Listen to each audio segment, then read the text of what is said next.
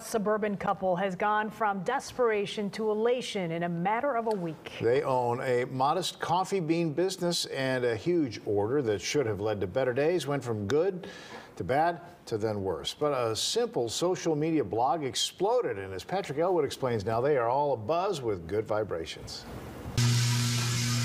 From the outside, you'd never know that a coffee lover's nirvana awaits. Just one sniff inside Modest Coffee's West Chicago headquarters, there's no mistaking you've entered a premium coffee connoisseur's castle. Started in the kitchen on a popcorn popper. It's the pride and joy of Marcus Contaldo and Jenny Trillick. This married couple and parents of three daughters are nine years into this mom and pop operation.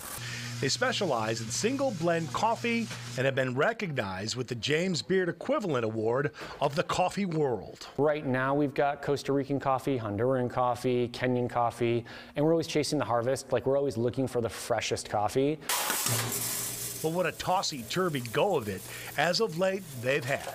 After reaching a deal with a broker and a distributor, months and months ago, Modest Coffee got an offer they couldn't refuse a chance to sell their premium product on Walmart's website.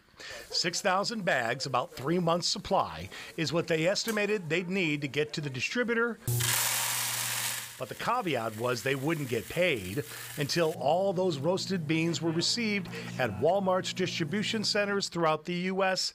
and sold. But we thought this would happen within, you know, a few weeks. But due to that dreaded communication breakdown and no fault of their own, they ended up with 36,000 bags. Again, no payment until all of it was sold. So, all this time down the line and endless wrangling back and forth, the deal was off. So, we've now been several months into this, and uh, they're like, come pick up your coffee or donate it. So, now we've got pallets and pallets, 30 some odd pallets of coffee filled, nine feet tall of coffee. Um, and what do we do? With bills to pay, $200,000 in credit card debt, payroll to meet, and a family to feed, they have three daughters who, by the way, also work at this homegrown business as well.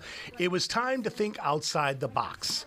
This, while still servicing their 130 existing customers of independent grocers on down to the corner coffee shops across the city and suburbs. So as it goes, desperate times call for those desperate measures. An incredibly stressful uh, set of months and weeks. One week ago, they shared their story on social media, explaining their ordeal. They offered their coffee at half off, about eight bucks for a pretty hefty bag, and their 911 call for help was answered. It started as a blog and took off from there to social media. It spread like wildfire. The response from the public, they say, has been overwhelming. Complete strangers on the internet placing one box orders. I think about it, I like want to cry.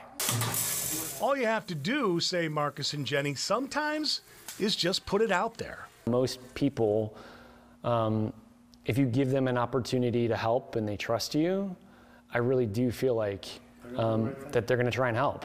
And they did, asked and answered. Patrick Elwood, WGN News. So here's the thing most of the caffeinated coffee is gone. There is still some decaf. Modest Coffee can be reached at its Facebook page or website, which we will link to our website, WGNTV.com.